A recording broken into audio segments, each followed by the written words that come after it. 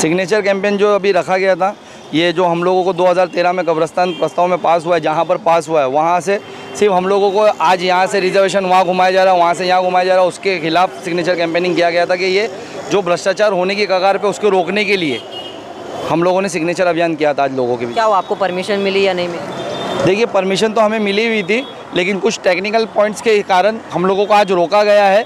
हम लोगों ने उसके खिलाफ आज यानी वापस से हम लोगों ने अर्जी दे दी है उन लोगों के बताने के मतलब इन ताला हम लोग कल से वापस वहीं ग्राउंड पे वही लोगों के बीच में सिग्नेचर अभियान करते हुए नज़र आएँगे। अगर इनकेस कभी अगर आपको परमिशन नहीं दिया तो आप क्या करेंगे इस चीज़ को लेकर? हम डोर टू डोर जाएँगे लोगों को लोगों को जागरूक करेंगे कि देखिए इस तरीके का जो यानी स्कैम होने वाला है उसे रोकने के लिए हम डोर टू डोर जाएँगे और हम लोग इसके खिलाफ जो जो मुनासिब कोशिश होगी आंदोलन धरने की शक्ल में हड़ताल की शक्ल में हम लोगों वो करेंगे। हम लोग ने सिर्फ़ कब्रिस्तान की ही मांग की। कब्रिस्तान, दफन भूमि और शमशान भूमि, इसी की मांग है और जो मुमरा शहर के लोगों के लिए ज़रूरत की चीज़ वही कब्रिस्तान है और नज़दीक है।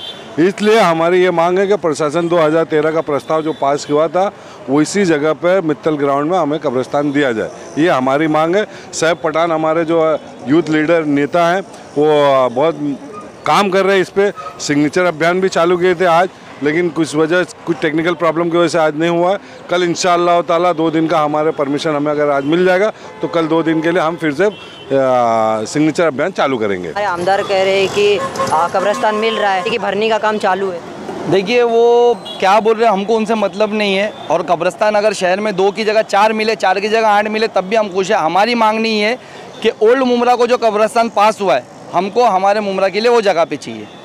हम उसकी मांग नहीं कर रहे तो कब्रस्तान तो दिया जा रहा है ना ऐसे कि हमारे आमदार का कहना है। इस शहर की आबादी देखिए आप यहाँ पर और चार कब्रस्तान में आएँगे तो शायद कम रहेंगे। हम लोगों के पास दफनाने के लिए जगह नहीं है।